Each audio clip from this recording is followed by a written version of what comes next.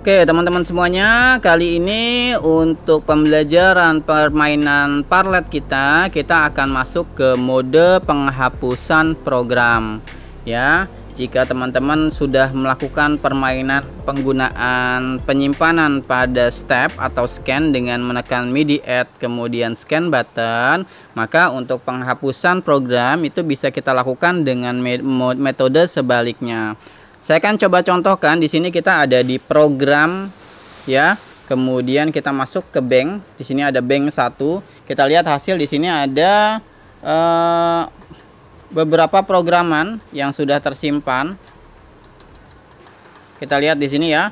Ada beberapa programan yang sudah tersimpan pada bank 2 ya. Kalau untuk penyimpanan eh, biasanya kita sudah lakukan untuk program MIDI add dan scan button. Untuk penghapusan kita lakukan langkah yang berbeda, yakni teman-teman bisa menekan tombol step sampai dengan muncul dan kita tekan di sini auto atau del sampai dengan berkedip. Nah, sehingga untuk step scan satu ini sudah terhapus. Satu sudah terhapus, dua masih ada sampai dengan 8. Kita akan lakukan penghapusan. Di sini kita tekan 2 del sampai dengan berkedip dan nilainya mati.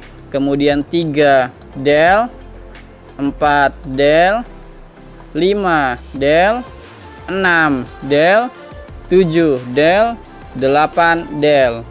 Oke untuk bank 2 yang tadinya sudah terisi 8 scan dengan permainan warna di sini menjadi kosong kembali.